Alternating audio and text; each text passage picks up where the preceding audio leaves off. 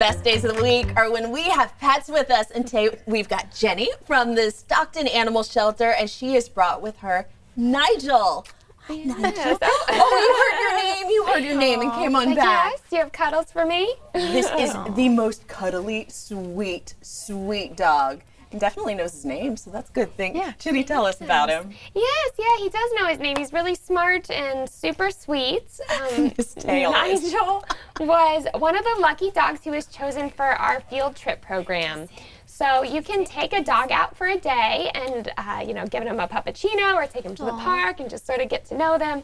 It gives the dog an opportunity to get out of the shelter for a little bit and it gives you an opportunity to hang out with a love Yeah. bug like Nigel. So he did that and the people who took him out just said wonderful things about him. He's great on a leash. He's really, really sweet. He loves to cuddle.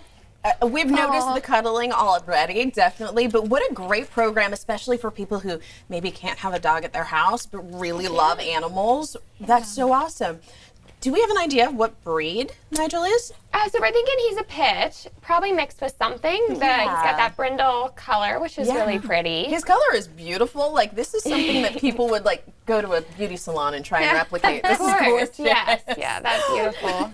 And how much color. would it be for someone to bring Nigel home? So our big dogs are fees waived, so totally free. Fees waived. Someone needs to give Nigel a forever home. Like Yes. he's so excited and doing so well here. I mean, bright lights, cameras, really doing well, and obviously responds well to treats. yes, yes, he loves treats, and he's actually neutered, so he's ready to go home today. Perfect. So if you come by Carter's PetSmart, we're going to be there from 11 to 3. Nigel will be out there, so you can come and give him some love. We've got lots of other dogs too. Um, Thank but you so much, Jenny. All right. Well, thank you so much for being with us today. Happy Sunday to all of you. Check out Morning Blend tomorrow morning, and we will see you Yep. next weekend Next on ABC weekend. 10.